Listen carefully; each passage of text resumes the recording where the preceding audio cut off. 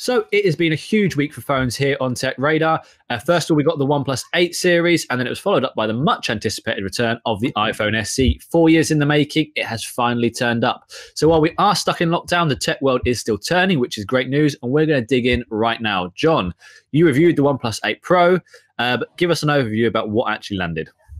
Absolutely, yes. I did have the OnePlus 8 Pro. I still have the OnePlus 8 Pro in all its uh, glacial green glory. Um, this was one of two phones OnePlus announced alongside the OnePlus 8. Uh, and the 8 Pro is probably the jewel in the crown. It's its most accomplished flagship phone to date.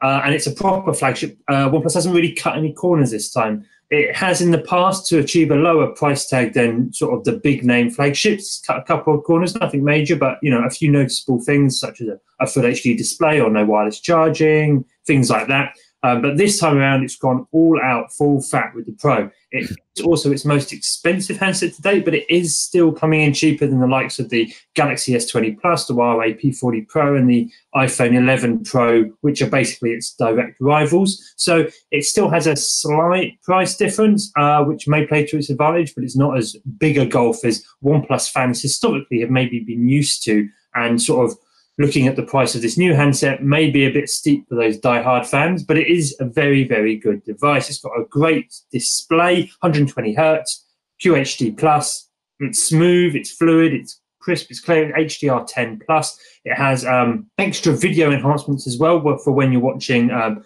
Prime Video, YouTube, Netflix, and the likes, uh, which enhances the video content. It can also uh, increase the frame rate to take advantage of that 120 hertz display for more smooth and fluid movement. It can look a little bit odd, uh, especially if there's a lot of people movement in shots. People seem to be moving a little too smoothly, which seems a little unnatural, but you can turn this uh, setting on and off, and it is fun to play with, and it does ma- make for some quite stunning visual. That frame rate changing, is that automatic? Is it like a, done artificially? Yes. Okay, so it's not like it's not finding another mode. It's actually making it. It's doing it all on on device, right? Yeah, yeah, yeah. And, and, to be fair to it, it's, it's really impressive what it's able to do real time processing on device. It, it does work. Yeah. It won't be everyone's cup of tea visually, yeah. um, but you've you've got to take your hat off and, and say, you know, that that is well done. They've ditched the pop up camera from the 7 Pro and the 7T series. They've gone with uh. uh, which makes more space inside the phone, makes it lighter, and means there's uh, not a mechanical movement to potentially break so easily. So, yeah, um, the pop up was fun, but you know, long terms wise, probably not the most sensible thing to have on a device, which tends to get knocked around a bit.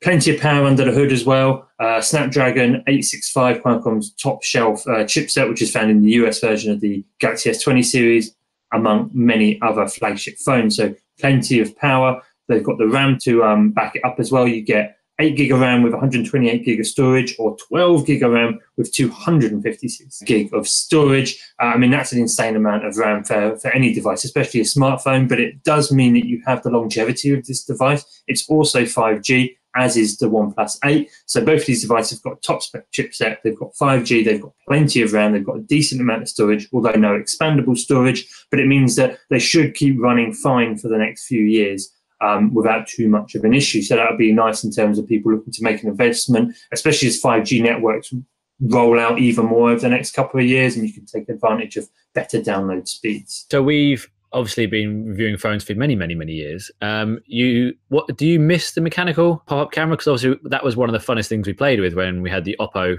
It was the Find X, wasn't it? When we that first turned up. Like I know you love that. Do you do you miss it, or are you glad that it's now punch hole? I miss it in terms of it was fun and it was something a bit different in the camera world, in the camera world, in the phone world, in fact, uh, where all our phones these days are relative rectangles with, which are all screen on the front and a large camera block on the back. So a point of differentiation is nice, but in terms of putting thinking sensibly, it is for the best actually to get rid of that moving mechanism, just because it's something that always seemed like it was easy to break. Yeah. Um, and to um, people are sort of are divided a bit on the punch hole, but day to day usage, you sort of forget it's there. It doesn't really actually get in the way. It sits in the notification bar uh, most of the time, so is out of the way naturally. And apps tend to do well to avoid it. Um, sometimes a black bar will be put just across the top to sort of hide the camera, but that's okay because it's a 19.8 by 9 screen, so it's really quite tall anyway. So a lot of apps aren't necessarily optimized for that sort of height just yet anyway. So it still works nicely. And one of the things I'm interested in, obviously, you you've been using the OnePlus phones pretty much throughout the series. If we didn't have the OnePlus 8 Pro, right, and, it, and OnePlus had just done the OnePlus 8, would you say it still qualifies as a flagship killer?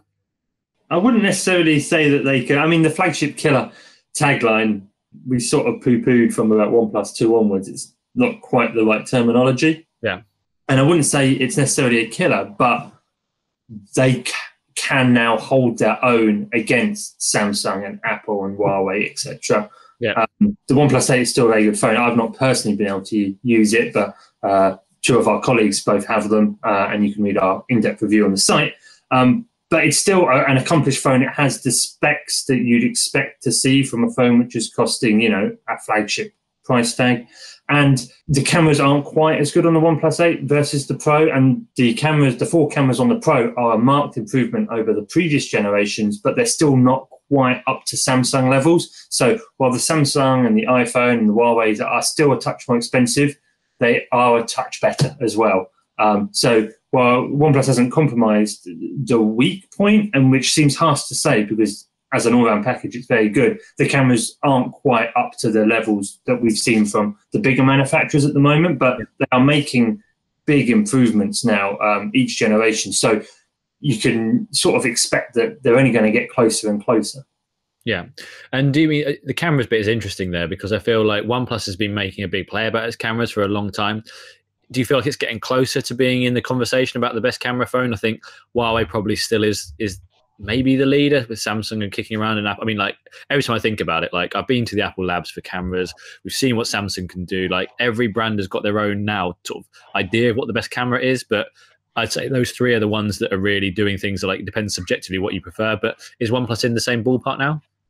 Uh, it's not quite, I'd say. It, it, it's still playing a little bit of catch up, but it's much closer than it was. But yeah, as you say, it, it's very subjective. Um, I've been talking to some photographer friends of mine, and one of them was saying that from a, a series of verses uh, pictures I actually tweeted out um, between the 8 Pro, the 7 Pro, the S20 Plus, and the P30 Pro, just because that's what I had lying around. And he was saying that um, he still thinks, from his sort of photography eye, that the S20 Plus is still the best all rounder of those four particular phones. Yeah. Um, but it does really come down to personal preference. Samsung yeah. usually produces images which are a bit more uh, colourful. They pack more of a punch, um, but uh, aren't quite as close to real life. So uh, the images look more vibrant and thus initially are more visually alluring. Um, but you'll actually find that the 8 Pro takes better, closer to real life images in terms of the way it brings out the colours. So it doesn't seem maybe quite as punchy as the photos taken by the S20 Plus, but you are getting a trade off of actually it does represent what we were actually seeing for our eyes a bit more.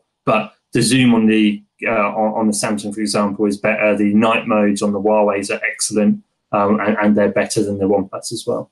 And in terms of availability, how easily can you get them? Uh, really easy now. Uh, gone are the days where uh, OnePlus phones were invite only. Uh, they're available on the OnePlus website in major uh, countries, uh, markets, including the US and the UK, uh, over 20 other European countries, a variety of Asia, uh, Asia as well. Um, so it's now got an established name in the market. And while it's certainly in terms of the consumer, nowhere near as widely known as Samsung and Apple, etc., it is building that base and it is convincing stores and carriers to actually range the phones, which is always difficult for a new brand. And okay, they're not new anymore, but it shows that they've come a long way to be able to be ranged in major stores and with major carriers, and that will only further enhance the uh, the the knowledge and the brand among the consumers.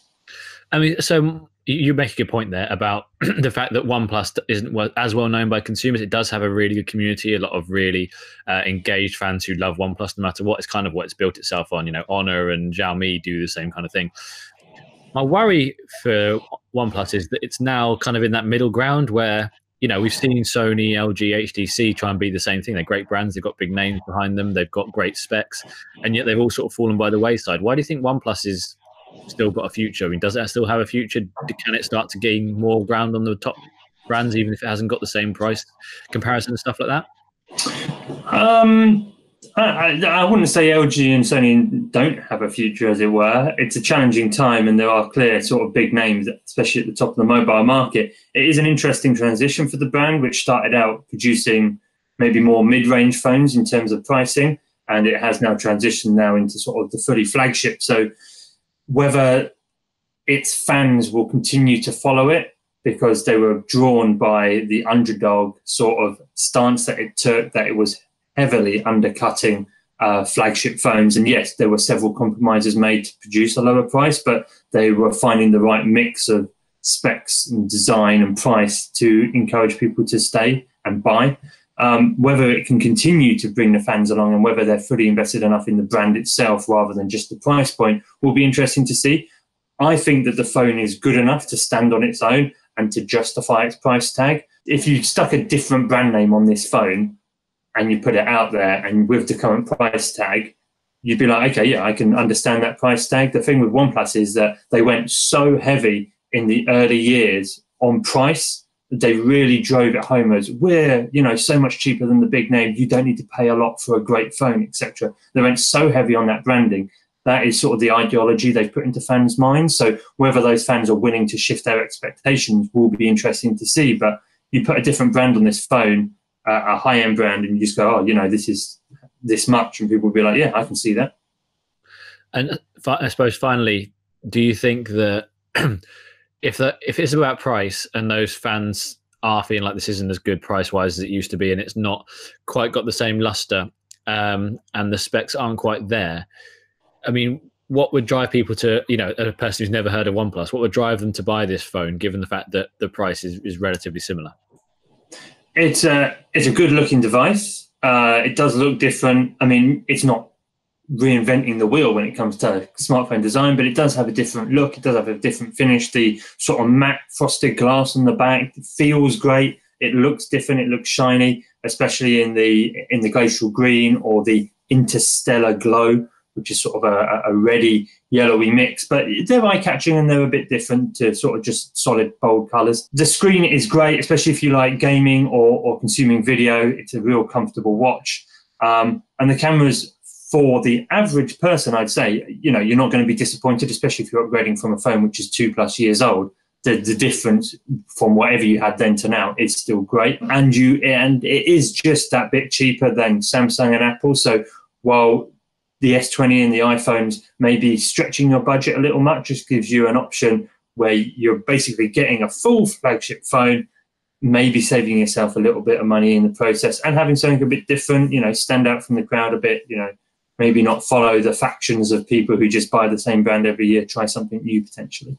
And one of the interesting things we talked about the OnePlus Pro, uh, OnePlus 8 Pro, which I feel like is really the phone that people should be looking at if they if they're interested in OnePlus. But the, it's weird to think that we've got OnePlus 8 and a new iPhone out in the same week, and the new iPhone is, is cheaper than the OnePlus.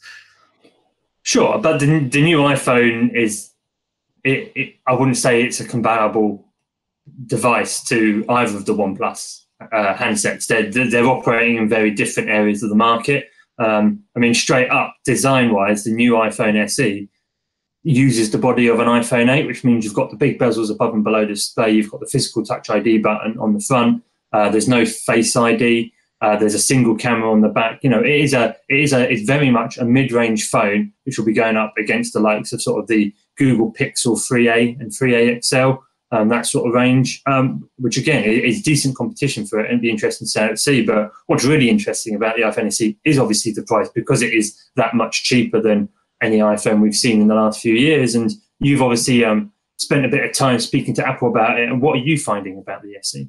Well, so for, for me, the price is, is it is incredible in the sense of it's well, three hundred ninety nine dollars, four hundred nineteen pounds. That you know, if you take inflation, because that's the same price as the iPhone SE from twenty sixteen, which was a very similar device in terms of the the methodology behind it. It took the shape the shape of the uh, iPhone 5S, I think it was, yeah, um, and chucked in the iPhone 6s's um, power and camera quality. And then it, it charged $399 for it then. And if you add inflation, that makes it $429 today. So Apple has actually launched its cheapest ever new iPhone here. And I kind of disagree in the sense that they aren't comparable because while yeah, the One 8 and the iPhone SE are completely different in terms of power and camera and all this kind of stuff. The thing people want with the new iPhone is that it's a new iPhone. They don't want it to be um, necessarily the best spec. They don't want it to be the highest performing in certain ways. Although I'd say the A13 chipset inside the A13 Bionic chipset inside the iPhone 11 range and now in the SE um, is what is the possibly the most powerful on the market so having that all together makes it sound a lot more like a, an applicable buy for people that want like i said a new iphone and especially those people who don't really care. So you're talking about people who might be a bit older who you know parents often go like well which is the new iphone to go for? Like three of my family have bought the iphone se originally based on that alone. They're like oh it's this one is it cheap? Should i buy this? And i'm like yeah go for it. You know it's it's smaller it'll fit in your hand better and it's the difficult thing right is that i've often said that apple kind of sits outside of the Android phone race. Um, there are some comparable points, and especially at the top end, there's a decision between Apple and Samsung. But for those that are embedded in the iPhone ecosystem, all that's there is all that's there, and they don't like necessarily change. So you've got the all-screen front phones coming through with the 10 and 10s and the 11 range. That's taken a while to get people excited about, and so there starts to be this whiff of nostalgia for the home button and for the the bezels and for a phone that you can kind of wrap your hand around a little bit better. Even though the the 10 and the 11 are actually really easy to hold. And so, because of that, I think this is going to be an incredibly attractive handset. The key thing for it for me is going to be two things. Number one is will the camera be any good? Because the iPhone SE from 2016 had a much better hardware set on it. It upgraded the hardware, the lenses were better, had a better sensor. It looks to me like they're very, very similar hardware on the iPhone 8 from 2017 to a 2020 model in terms of a camera. And because of that, it makes me feel a bit worried that well, let's see what Apple can do because they're basically saying that the A13's chipset has got this really good image sensing processor. It can take images, it can improve them. It uses a neural engine to basically split up the picture into so many different ways and analyze them in a trillionth of a second or whatever and say like right there's lips there's eyes there's shadow in the background let's work out what the best kind of picture should be and puts it together really quickly computationally and, and makes a good picture if it can do that and you're getting a good uh, new iphone with a camera that can take good pictures then it's an incredibly strong proposition. The only thing that sits on my mind is that battery life because I think you reviewed the iPhone 8, didn't you, John? And you found the battery was maybe a day. Yeah, it, it, I mean, one of the historical issues with iPhones has been battery life hasn't been quite as comparable or as uh, what you'd want it to be versus Android phones. Um, but in in the most recent years, it has improved significantly. So you're hoping that with a more efficient processor in the A13 Bionic, and you'd assume there'd be more software um, sort of efficiencies made behind the scenes as well. That the the SE will be able to to provide a better battery life. And I mean, we don't know under the hood what we're looking at in terms of battery size, but you never know. They may have been able to reorganize some things, maybe squeeze in a bigger battery, depending on on what's going on. Um, but yeah, the operating system iOS 13 should be more power efficient. The chipset is more power efficient. Um, and running that with, I would assume, still a, a, a relatively low res display in, in, terms of today's um, standards of displays, that should hopefully all make for a relatively good battery life performance. But again, we're not going to know until we we get that. Yeah, and the what I find what I found really interesting was when Apple was sort of launching this whole thing, they, they made a big deal about the fact that well make a big deal, but the, the battery life itself will be the same as on the iPhone 8. I sort of think I agreed with you. Like we've got a much more efficient process, a much more efficient compared to to back then, which was the A12. Yes, um, was it A12 or A11? Anyway, I should know that. Um, and obviously, way way more efficient than the A9 from 2016. Um, but yeah, right. The lower res screen to what we're used to now. It's got 326 ppi. It's not even full HD um, that we see most phones with now. It's it's LCD, and like I said, I think the battery size will probably be the same. So combined with uh, you know a more efficient operating system, combined with the the better process. I'm not entirely sure why Apple has said this. My hope is that like the iPhone XR or 10R, they there's a surprise waiting because that had really good battery life for an iPhone. No one could really understand why. It was sort of like came under it came sort of under the radar, so that's pretty good. But I think yeah, Apple has kind of managed to catch itself back up again in terms of offering battery life that's comparable to to the Android phones of the world. Maybe not, you know, market leading by a long way, but we've we used to, you know, the five, six, seven years of Apple where its battery life wasn't good enough. You know, if you were just an iPhone user, you might not have noticed, but then you went to like a Huawei Mate, for instance, and it gave you like triple the battery life or double it, and you can see there was something to make up, and Apple has done that. So let's see what happens because in under review conditions, anything could happen. But I'm surprised Apple has downplayed it. I would say that Apple do, it has started to get a history of under promising, um, just to make sure it doesn't go too far. Like the Apple Watch originally was has always been 18 hours, and I've always found that it goes longer than that, and it's nice. It's a nice surprise to have. Yeah, I think they're aware of maybe the historical criticism, maybe from from journalists and also from from the public about battery life. So yeah, you want to maybe remain cautious if you're Apple around those figures. Um, but at three nine nine uh, dollars, it's it's a fascinating uh, product, and I, I, expect it to be super popular. And it will may, may well help Apple break into new markets or break into sort of more emerging markets in a bigger way with a with a new lower price tag. And yeah, it's going to be a really interesting one to watch. Yeah, I, th- I, think you're right. The availability obviously will be worldwide. Um, pre-orders have gone live on the 17th of April. Um, and I think you're right about emerging markets. We saw a huge amount of interest from India, didn't we? When it went when the um, launch was happening, we saw loads of people coming over from there. Um, obviously, we've got good readership in India. Hello, if you're if you're watching. Um, but it was a much bigger spike than we expected, and it shows there is definitely some interest in this sort of lower cost iPhone in that region alone, and obviously, like I said, more around the world. Um, the key thing I think is going to be just like what what can this actually do? You know, like um, I think for me, having a new iPhone for people is important because they, they are holding on to them for longer. I maybe it's a year out, but I'd argue that this iPhone has been timed. It's because we've expected a new iPhone SE for since the last one. Like, thought, well, next year we'll get another one. Next year we'll get another one. But the special edition thing seemed to last, and so the question is, why now? Why four years later do we get a new iPhone SE? And I think it's because people who have the old one, it's just so old and it's getting so slow, and the battery's probably starting to really struggle, and the screens are probably smashed. And now is the time to upgrade. I would have said last year would have been the point, but people are holding on to them for longer, so you know a four year cycle is quite interesting and let's see if it can hold up because the great thing is now with the A13 processor the upgrades to iOS we can probably see this getting upgraded for at least four more years if not five six. Um, and that's a really great thing in terms of people wanting to hold on to their devices. Absolutely yeah. I mean I, I guess the only question mark is is no 5G but again it's the cheaper iPhone and 5G networks aren't ubiquitous yet even in sort of developed areas. So it's no surprise that Apple is holding off that particular train while others are trying to jump on it because, yeah, 5G for most people isn't a pull at the moment to buy a phone, um, but it does give you a little bit of future proofing. But it'll be interesting to see maybe with the uh, development of 5G, whether that encourages Apple maybe in two years to reboot the SE just so it can do a 5G version. I mean, I, I don't really feel like that 5G is going to become a thing, like like a must-have thing for know, five years t- at least, because you know, we're, we're, the, the addition of 4G took a while to roll through, and I think 5G.